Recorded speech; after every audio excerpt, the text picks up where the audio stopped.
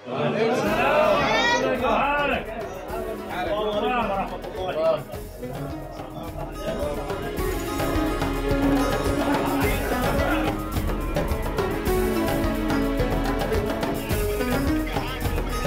नाम तलहा अलकसेरी है तकरीबन डेढ़ सौ साल से ज़्यादा का अर्सा हो चुका है।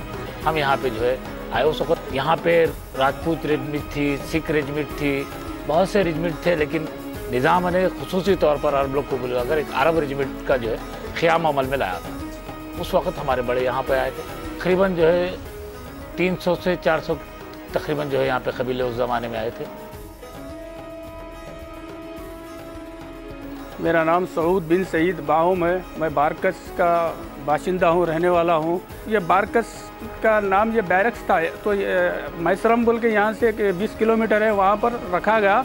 ये बैरक्स ये बैरक्स में जो बैरक्स बनाए गए यहाँ पे।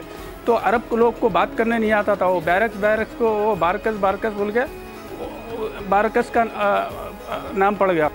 तो यहाँ पर तकरीबन डेढ़ डेढ़ से दो सौ कबीले उस टाइम पे आए थे। तकरीबन दो से ढाई लाख की आबादी हो गई अरब यहाँ पर बारकस के अंदर। जितने भी कबीले है, सबके रिलेशन रिलेशन में आते। यमन में लुंगी और बुशर्ट पहनते थे तो अल्हम्दुलिल्लाह यहाँ पर भी आज भी वही रिवाज है। ईद हो या शादी हो और नाश्ते में यहाँ पे हमारे पास, पहले घावा और खजूर से नाश्ता होता, बाद में दूसरी चीज़। लेते और हमारे औरतों का भी लिबास हमारे मैक्सी जो यमन में अरबा जो पहनते हैं, मैक्सी, यहाँ पर भी मैक्सी ही चलती है। खासतौर दुबई से और इधर से जो एक्सपोर्ट होकर यहाँ पर आती है। तो पूरे बारकस में पूरे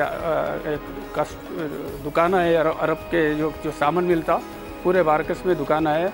और खसूस शहर के लोग भी आके यहाँ से ख़रीदारी करके लेके जाते हैं। उनको भी एक दिलचस्पी है कि बारकस के पहना हुआ हम भी पहने बोल के वो भी लग जाएगा सिटी के भी लोग दक्षिणी लोग भी पहनते हैं। और यहाँ के लोगों की जो है, मेल मिलाप, मोहब्बत, कल्चर ऐसा है कि लोग यहाँ पे आए बाद उनका मन कहता है कि घड़ी घड़ी बारकस को हम तशरीफ़ लाए। क्योंकि जब कोई भी आता है, अगर आके पूछता है कि जो है, महसिन का घर कहाँ है तो उसको पहले बुलाते हैं, बिठाते हैं, चाय, नोशी, खजूर, उसको गहवा पिला के, उसको खाना खिला के महसिन को फ़ोन करते हैं, भाई, तुम्हारा मेहमान हमारे पास है, हम लेके आ रहे ये प्यार, ये मोहब्बत, ये यहाँ पे ईमानदारी उस ज़माने से आज तक हमारे बड़ों में जीती है। हमारे पास मौजूद है